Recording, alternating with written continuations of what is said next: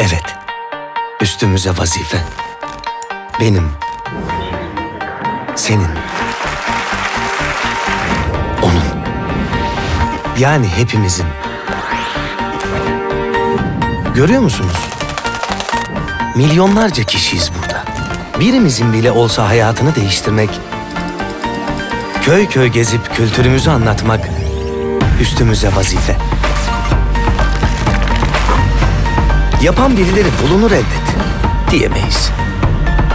Ben yaparım demek üstümüze vazife. Öğrencilerin umudu olmak, benim umudum var diyenlerin yanında olmak üstümüze vazife. Her şeyi de sen mi yapacaksın canım? Biraz dinlen diyenler. Vazifemiz beklemez. Taşın altına sadece elimizi değil, yüreğimizi koymak üstümüze vazife. Türkiye'ye köşe bucak umut götürmek. Değerlerimizi tüm dünyaya ulaştırmak. Bilimin ve bilginin gücüyle hayallerimizi gerçekleştirmek. Benim, senin, onun. Yani hepimizin üstüne vazife.